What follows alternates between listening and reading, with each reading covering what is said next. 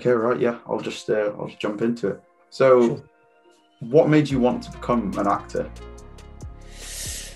I think it's really, it's actually, it's a much more kind of interesting question than I think it gets given credit for. Because I think, on the one hand, you kind of want to do it because I think you want to do it because you get praised for it. To be honest, initially, I think you want to do it because you know you at five or whatever I was when I started going to little Saturday morning drama classes and stuff, and people tell you you're good at it. And I think when you're a kid, that's really, really addictive, like being praised for doing something.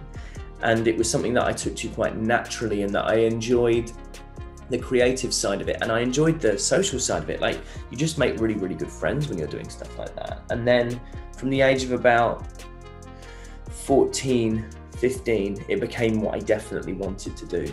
Um, and it was kind of my only point of focus, really, from that point on.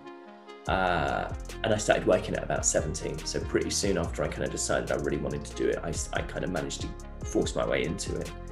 Um, but yeah, I think a lot of it is it's it's a really selfish thing to do. It's a massively selfish thing to do to be an actor. You don't do it for other people. Like, and I think unless you come from like unless you come from a background or like uh, maybe like a, a background or a demographic that sees themselves underrepresented in the media and they're like, I want to change those stories. I want to change the Yeah. kind of story people tell about me. I'm a middle class white kid from south of England. I'm a, and I'm a man.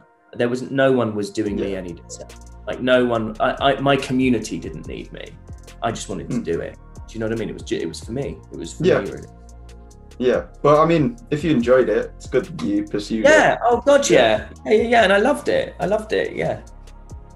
Um, so while you were kind of on that journey becoming an actor, did you have like any inspirations, like many actors that you kind of looked up to, like I want to be that person?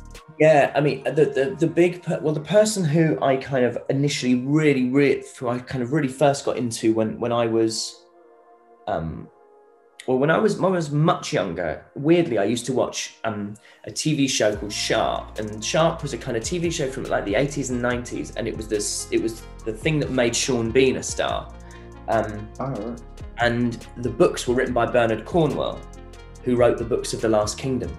So it was like a Oh, really right. weird symmetry that like the person who kind of gone, oh wow, that's amazing. I ended up being in the next thing that was adapted from his from telly, uh, for telly.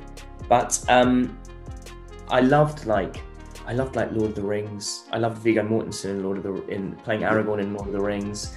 Uh, and then when I got a little bit older, it was actors like, but it was particularly it was Stephen Graham, the actor Stephen Graham, whose Line of Duty, um, like he's for me, it was This Is England is the thing that I kind of became really aware of him in, Mm.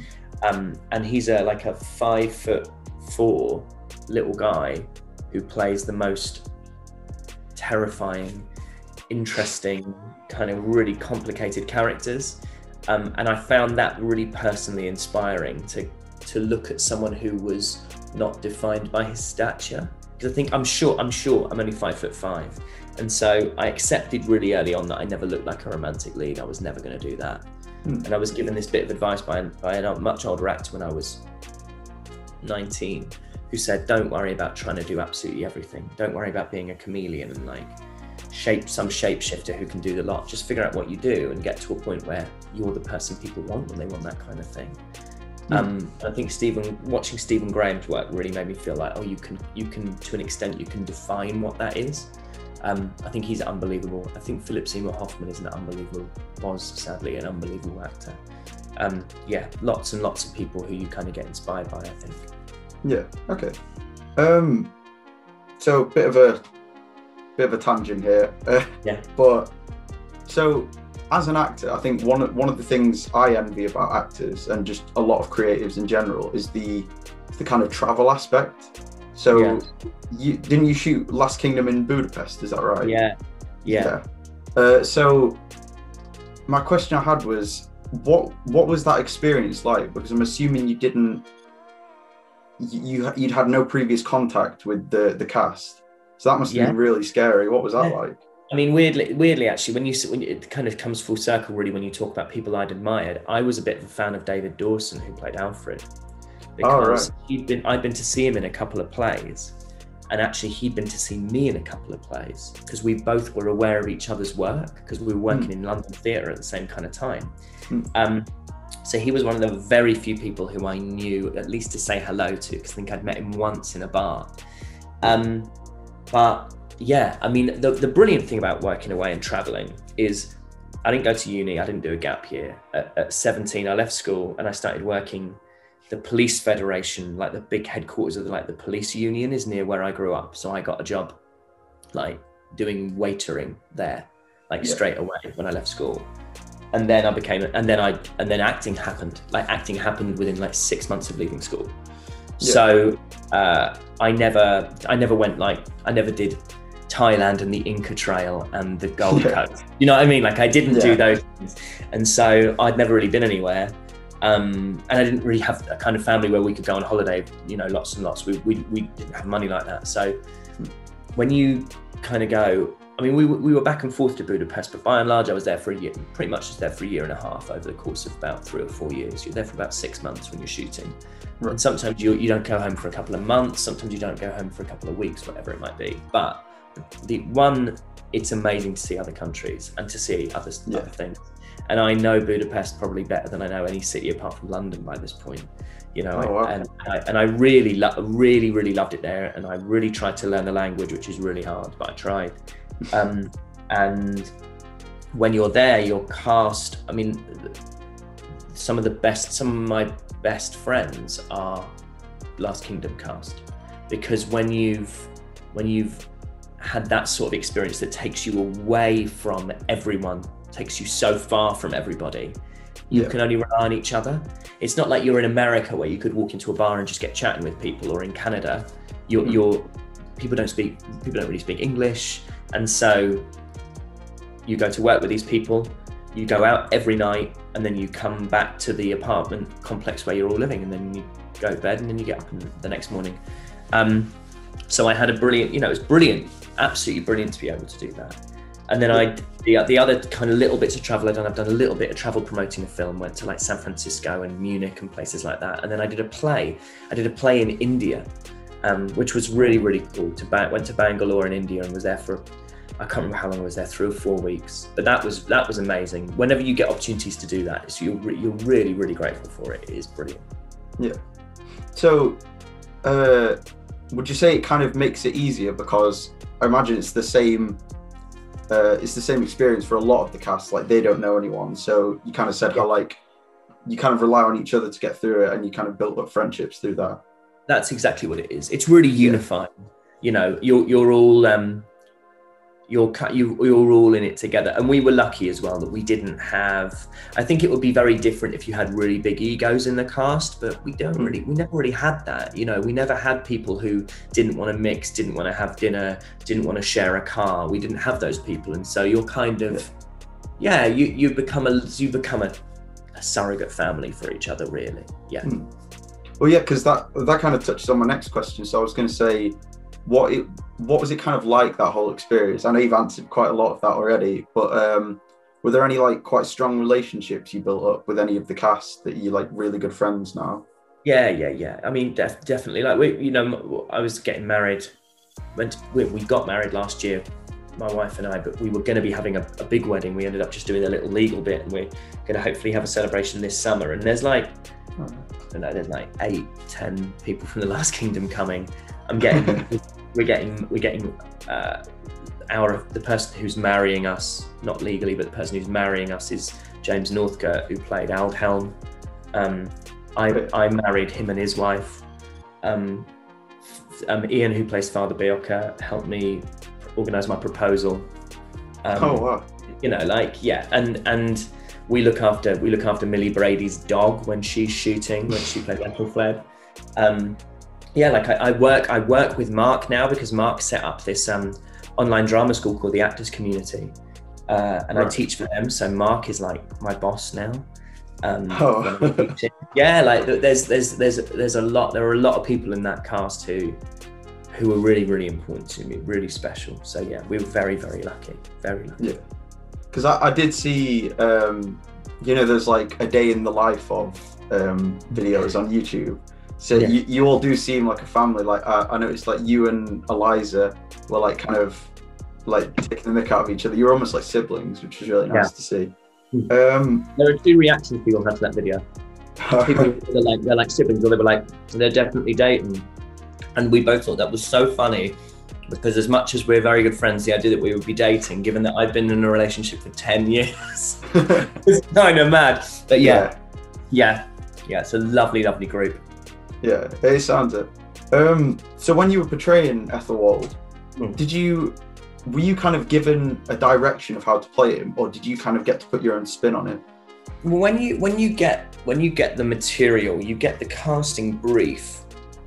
It's like a little breakdown, which which breaks the you know kind of gives you a little two, three, four sentence summary of the character. Yeah. I can't remember what Ethel Æthelwold's was, but when you first auditioned for the show, you had to audition for either um, Alfred or Uhtred. I think they were just sort of seeing, they just wanted to see people read as one of these characters, because obviously they were the sort of big polar opposites in the show. Yeah, And then they'd filter you down into what they thought you were right for. And I got a call from my agent, and I don't know whether my agent was was telling me the truth or telling me a lie and just trying to motivate me. But we've been married for a really long time, and she knows how to push my buttons in a, in a really good way. So she said, um, "Got this audition for you, and they don't think you can do it." I was like, "What?" She was Oh, like, yeah. "Yeah, they, they, they don't think you can do it. They just they think you're just a comedy actor because I'd played i'd been cast by the same casting director as a, in a comedy called Episodes." Um, and they were like, "They're not sure you can do it, but you know, I said I think you can." So I was like, well, I'll show them. So I was auditioning for I auditioned for Alfred, and it, I can't remember what the scene was. It was one in the writing room where um, he's saying he's talking to Uhtred and Brida, and he's like, "And one king, if all men are agreed, yes, one king, Yeah. like a single kingdom called England, and all this sort of stuff." And I knew I wasn't really right for it, but I thought I'm gonna have a fucking good go here. So. I really, really worked proper, proper hard at it. Probably the hardest I'd ever worked on a script. And I went in and I met the casting assistant or casting associate, and I taped, and they were like, "Oh, that thank, thanks, that was really good." Um, and I kind of knew it had gone well. And then I got a phone call saying they don't think you're right for that, but here's a character. And they sent me Æthelwold. They sent me the brief, and they sent me the scenes, which were one of them was like the one that's uh, where my father's just died, and I tried to pretend that he actually wanted me to be king, and he just named me as heir to the Yeah. throne. Um, and maybe there was another one, but I remembered. Oh yes, and it was the one where I think it was the one where um, I'm a bit drunk and saying he was caught humping a nun once. Alfred, I'm with Uhtred and Leofric, and I'm kind of going, "Oh, God won't let him kill me. I like God." And I remember reading it and going, and, and you you have these feelings as an actor and sometimes they're wrong and sometimes they're right but you have this instinctive reaction where i was just like oh i'm gonna get that. That that that's Yeah. my character. I'll, I'll, do that. And I, and and i felt just felt like he fitted me or i fit him. You know i felt like i kind of wore him very easily and kind of got it. And you know also completely sympathize with him. Like no everyone uh, no one will convince me that he isn't the hero of the show. Like i think he's totally totally justified in everything he does. And i think that's a really important thing as an actor as well that you never judge your characters from the outside because it doesn't Yeah, does, does no one any good if i'm going oh he's a bit of a cock but i'll have a go. Like i've got to believe that he's right. Um and and yeah so i remember get i remember getting that and being like oh yeah this is a bit of me this. Yeah, you did. I mean, you did play him really well. I think when I when I first watched it, from from like that immediate like reaction of first seeing you, I I assumed you were going to be uh, a bit like Joffrey from Game of Thrones. yeah Yeah. Um, but you turned out to be a lot more complex than that. Like you became Yeah. very cunning and and I think- wise. like I think it, yeah. his at, he was he was he kind of he almost became Tyrion for a little while, yeah, very close to becoming Tyrion, and then I don't know who he became towards the end, just a bit of a dickhead. But I but I kind of yeah I'm I I also remember you know remember saying to my wife, um, he could be really really exciting. Like there's so you can really go somewhere with him. Yeah. And I think in the first series, I was lucky that I was one of the people who really had a journey, whose characters really had a journey to go on. Um, that he really changed. You know, he went from being this kind of bratty, slightly pathetic, and then then you kind of think start to feel a little bit of sympathy for him and you kind of like him and he kind of he's becoming a little bit of a sort of lovable idiot. And then he and then he suddenly and then you I, I hope you start to take him more seriously. And the whole point i remember reading series three and reading the killing of ragnar and i didn't know that i was going to do that until Oh, i read the script. Had no idea. And i remember reading it and and being like oh in a minute someone's going to come in and catch him. And Yeah. you know and then you turn the next page and the next page and the next page and you go oh my god he did it. And i hope as an audience you have that same experience of being like he's not going to do it he's not going to do it he's not going to do it oh he did and then i think that's when i lose an audience and i think in a really good way a way that i was really pleased about when people were just angry at him really because i think and i think people i think the reason people were angry is because they started to like him and started to sympathize with him and then Yeah. he goes and does something like that and everyone feels somehow responsible Yeah. I mean, it, it was a cool journey for him. Like, he kind of, like you said, he went from kind of like maybe a bit pathetic, very drunk all the time, to Yeah. very like cunning and smart. And then towards the end, I think after he killed Ragnar, especially, he became very, quite like desperate to just Yeah. get in with someone to Yeah. keep him safe. yeah it's Um, like, like yeah it was like any port in a storm it was just like anyone who can give me a give who Yeah. can help me sake yeah. Um, well, that's kind of leading on to my next question as well, because I was going to say, so when you found out your character was going to die, what was your reaction to that? Well, I read the books, you see. So as soon as we got, as soon as I could, as soon as I found out I got the job, I bought the first six books, which is up to a book called The Death of Kings. And there are two kings who die in that book. There's Alfred, and then there's Æthelwold. Uh, Oh, right. and and so I was like, oh right, okay. Well, if they in that case, if they go two books a series, I die at the end of season three. But I had signed a four-year deal, so even at the beginning of four, I was kind of at the beginning of three. Sorry, I remember having conversations with producers and execs, and them kind of going and saying to them, "Is he going to die?" Because that you start without the full scripts being written, which I think a lot of people don't realize. That I never read, I never sat down and read scripts one to eight or one to ten ever, ever. Oh, At best, you had four scripts when you started a series, and you might not even have an arc beyond that. So you don't know, like, especially because it's a show with such a high turnaround. When new scripts came out, like you'd give it a couple of hours, and the WhatsApp would be like firing off because everyone would be like, "Oh my god, I'm not dead, I'm not dead, I'm not dead."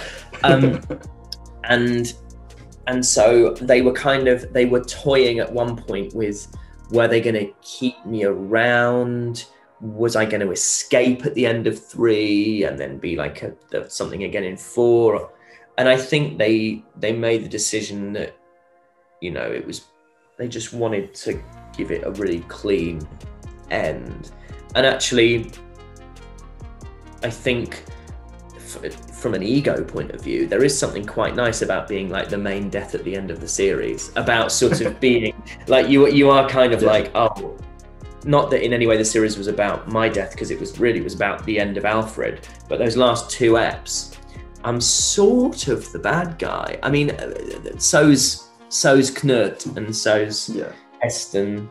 Um, but you know, I'm kind of. I, I, I felt like the character got a really great send off. The scene between Uhtred and Æthelwold, I think, is a really good scene. Um, the way in which there, there was nowhere more, there was nowhere you could go with him.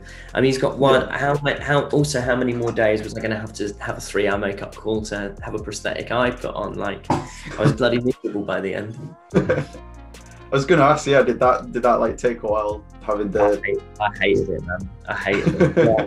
So you you what you do is you um they tape your eyes shut right. uh, and then they put a prosthetic over the top and then they paint the prosthetic. I mean I had a um a makeup artist called um Judith Horniak who I always have to think about her name because we called her LJ. We called her Little Judith for like three years because there were two Judiths and she was the shortest one brilliant, brilliant Hungarian makeup artist who uh, we just like got on so so well, and she was amazing and, and very patient with me because I'm not very good in the mornings.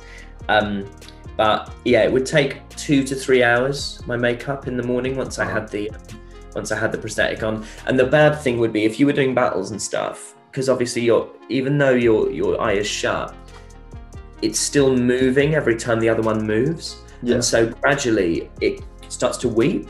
And if it weeps, it takes the tape off, and then your eyes open under the prosthetic. And it's like rubbing against the inside of the prosthetic. And uh, I think the longest I had it on for, I had it on for 13 hours one day.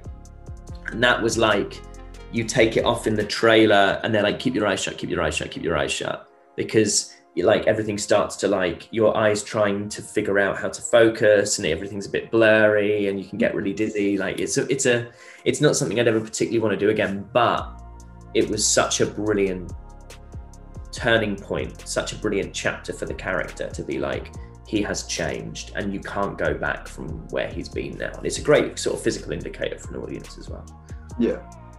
Um. So I'm gonna, gonna try and move off the Last Kingdom a bit because I've been sure asking dude, you dude, loads of questions. whatever um. No, I was gonna say so. Uh, you were recently in Assassin's Creed as a voiceover character. yeah Uh, I was gonna say, how did that role come about? that was an interesting one actually because I got that, some of that work through my voice agent. So I had an audition for a game called I can't remember what the working title was, but it wasn't Assassin's Creed because you, you don't know Oh, what it is. You have no idea that you're working on Assassin's Creed because they don't tell you because they there are so many people involved in that production that they don't want to risk someone actually accidentally being like, oh, I'm in Assassin's Creed. So you have to um you have to keep it you, you you go you go to the studios and they've got this kind of concept art up on the wall. And you're like oh i think i i think i might know what this is. I think i might know what this is. And anyway i was doing a load of incidental voices. So for example if you go to when you f- i only know this because i've just started playing the game. When you first get off your boat um the first time you go to England, the very first time you get off the boat, there's a Yeah. group of there's a group of English people who are like waiting on the near the dock, and you have a fight with them, and one of them's like, "We don't take kindly to sack to Viking scum," and that's me. So I was in there to do like little voices like that, Oh, and then I got people from my voice agent being like, um, "They've got this character and they let you to play it," so they sent me over all this stuff.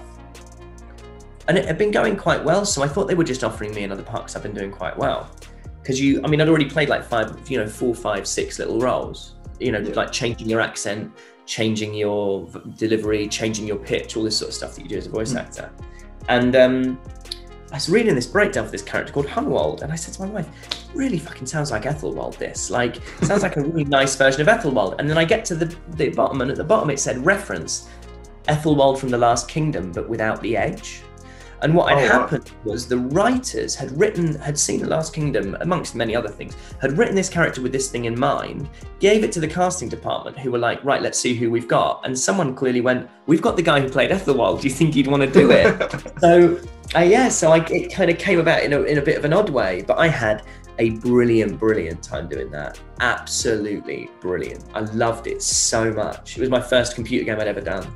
Um, I'd love Oh, wow. to do more. It's they're, they're amazing. That's such. It's a. It's much. It's kind of very freeing in one way because all you've got to worry about is how you sound, but it's also massively technical and really challenging. It's a. It's brilliant. I loved it. Yeah, that's cool. Yeah, hopefully you get to do more because you were really good in it. I think it was really cool how they got they got everyone from like Yeah. Last Kingdom, Vikings, Vikings. Norsemen. Yeah. Yeah. so it was just it was really nice like seeing all these different voices pop up. Well, so Uh, I'm played let's put that I'm playing entirely as the male Ivor, uh, Eivor because Yeah. I want to play as Magnus. Because Yeah, so the first, so like the first thing I did in England was I recognised my own voice, and me as Magnus ran at me and killed me because I was like, I get to kill myself. I get to kill yeah, that must be a weird experience. myself. Um, so moving on from that now, uh, you've also done quite a lot of theatre. Um, Yeah. How does that compare to acting for TV or film? Well, I think I think the principles behind how you how you break down a script and how you create a character and how you work on it are exactly the same, or almost exactly the same. Where it where it becomes very different is the technicalities of how in of how you translate that. So it's like you know, the cat the, the fire at the center of a character is just as hot for theatre and for st- and for screen, but with theatre you've just got to be able to see it for a little bit further away. You've got to be able to see it from the back of the theatre. Whereas when you've got a camera here, you have to do you maybe have to do less, but the same thoughts, the same emotional, psychological kind of understanding, the same processes. Um, theatre was kind of what theatre was my first thing. Still, the best moments I've ever had in my career are on stage. They're not on screen because on screen you're kind of there's someone here holding a boom and you've been up since five or four and you know you've got to do it another eight times and you've just had lunch so you're kind of a bit sleepy. Do you know what i mean? Like there's all these other Yeah. and, you, and you're not really looking at the person. The person's over here but you've got to look over here because that will make the eye line look right and you have to make sure you're not kind of doing this all the time and pretend that the person who's delivering you the Yeah. lunch you know. So it's much more technical. But yeah theatre was my theatre is like the the biggest rush i ever got the sort of purest experience I ever had was when I was doing theatre. Hmm. Um, but I was I was really lucky, you know, like from by, by and large, I got to do both, and that was amazing, you know, because I, I'm, n- n- there aren't that many actors who get to do both. I was really fortunate. I was just in the right place at the right time, a lot of the time. Yeah. That kind of, I could do a bit of everything. So would you say with the theatre it's kind of more it's more engaging because you don't have to focus on any technicalities, it's just the raw emotion of your character. Uh, to an extent, to an extent, that's exactly what it is. Although there is a huge amount of technicality to it in terms of you've got to be able to maintain it over a four-week run. So if you burn out, in Oh, yeah. and you're like, then you then you can't do it. Then you've sort of ruined it. But what you do get in theatre is you start every day at the beginning and you finish at the end. And so you have an incredible understanding of the trajectory of a character and you have an incredible understanding of um, the arc. Whereas Yeah. on screen, you're kind of going, sometimes you go to the continuity supervisor, the person who kind of, script supervisor, sorry, the person who looks after all the technical, all the story stuff. And you'll be like, Hmm. where have I just been? Because, and they'll be like, oh, well, you're, you remember four weeks ago we were shooting that scene. You've just walked out that door. Like, right, okay. Do you know what I mean? Like, Yeah. it's not, it's harder to, to, uh, it can be harder to um, place everything. But actually, with Yeah. screen, with screen, once you've done it once, or once you've spent a day doing it, you never have to revisit it again. So you can burn yourself out a lot more. You can really, really, really go for it because you know you don't have to do it 60 times over the course of four weeks or whatever it was, weeks. You just have to do it maybe 10 times today, five of which is going to be your coverage. And then the rest of it, you can, you know, you'll be all right. Like you've got tomorrow off or whatever. Yeah. So it sounds like there's kind of pros and cons to both really. Yeah, definitely. Yeah. definitely. Um so have you ever had as an actor any difficulties working with certain people? Obviously that, if that's the case you don't have to name who. And if so, how do you kind of deal with that? Uh, have I ever have I ever worked with anyone who's really difficult? Not really. Like I'm probably difficult.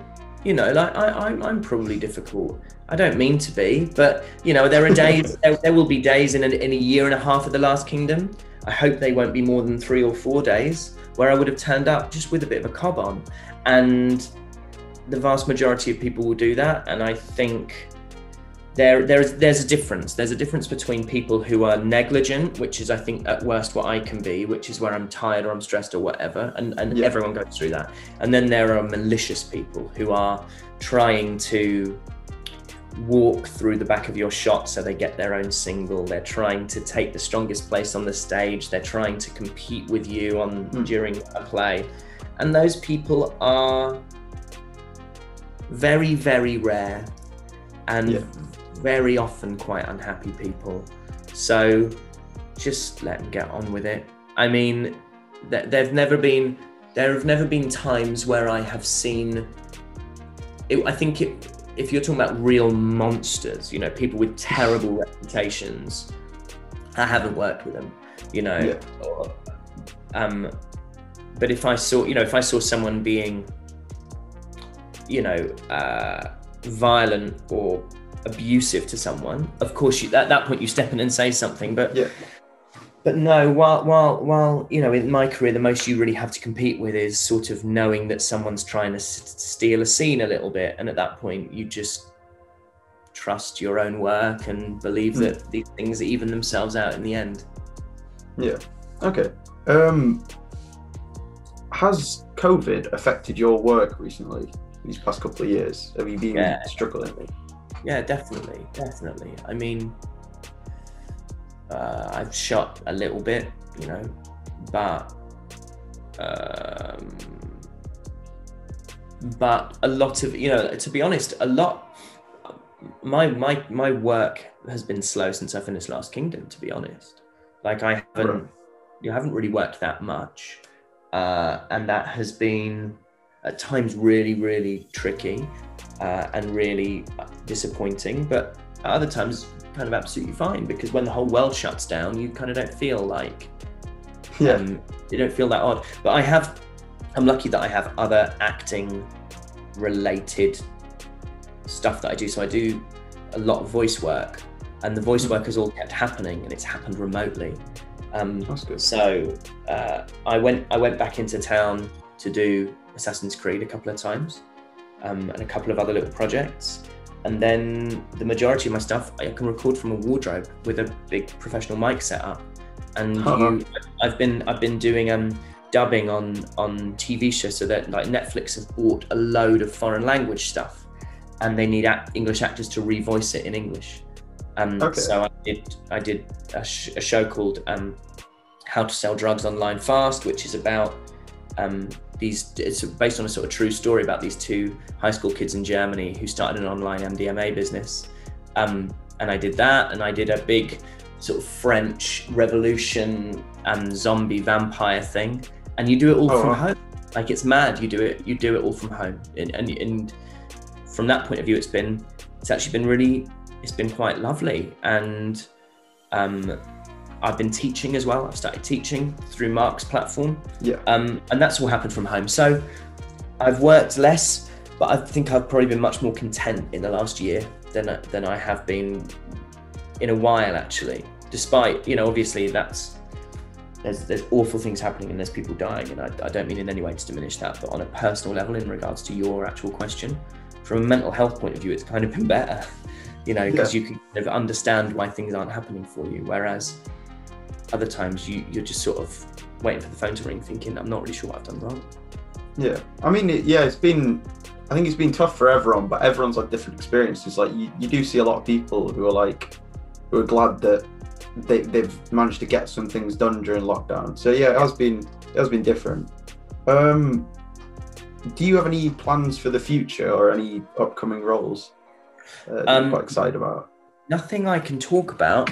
Um, nothing I can talk about, but only little bits and bobs. I mean, as you get, as I've got older, I'm less.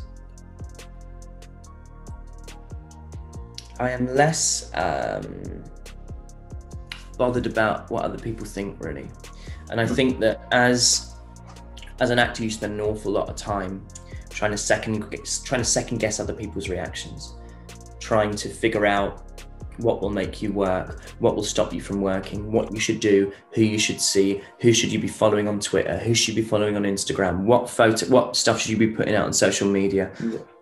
And it's all about kind of external validation. It's all about kind of going, if this person says I'm good and I'm worth something, then I'm worth something. And that's great while they're telling you you're worth something. But as soon as they start telling you something different, it's very easy to believe that you're worth absolutely nothing.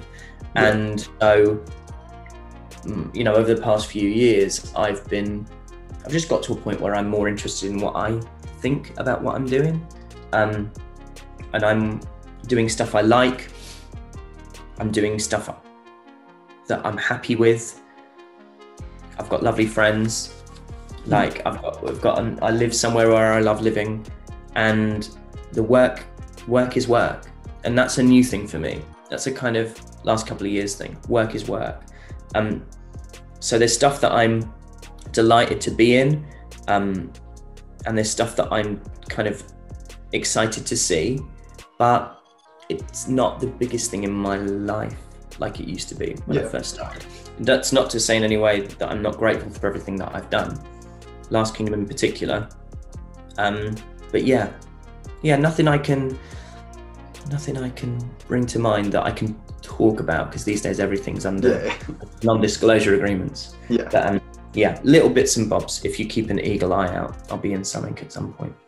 Okay, I'll look after that. I mean, I um, it's it's good that you've got that kind of like attitude about um, you know, like that kind of self reliance, that self positivity, uh, Mm. not relax. I think I know I struggle with that, and I think a lot of people do. So it's, Yeah. it's good that you managed to find that.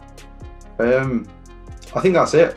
That's uh, all my questions. So, yeah, thank you so so much for doing this. It's been Okay. great.